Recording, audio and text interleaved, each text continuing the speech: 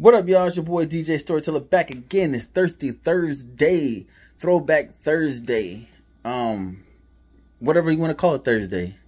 Um, unfortunately, EBR will not bringing you a show tonight. Uh, we're currently getting prepared for a big wedding that we have on Saturday and in Poquoson, which should be a um a great event. The music that the couple has requested, some of the songs that they've requested, it seems like they have a, a, a good variety of music from old to new, from country to hip hop to old school R and B and hip hop. It's just it's a great list of music that they sent me. Um, definitely gonna do my thing with it.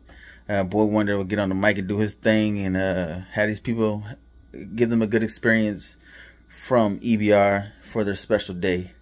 Um, in the meantime, NBA playoffs start back tonight. We got the Boston and Philly and Denver and Phoenix. Um, yeah, those both those games are back and forth. One one day, one game, Boston to beat the mess out of Philly, and vice versa. And then uh, Phoenix is struggling right now. I'm not gonna lie.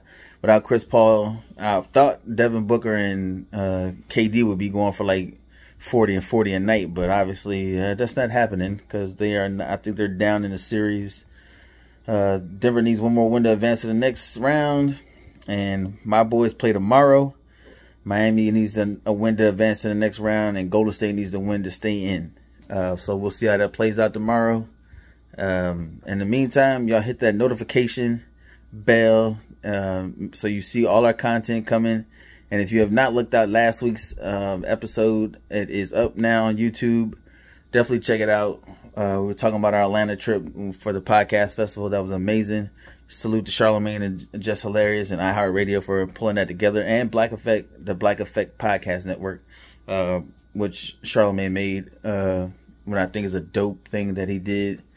Uh, so we'll see how it goes. Uh, yeah, like I said, stay tuned. Enjoy your Thursday. Happy Mother's Day. Happy early Mother's Day to all the mothers out there. Stay blessed. Peace.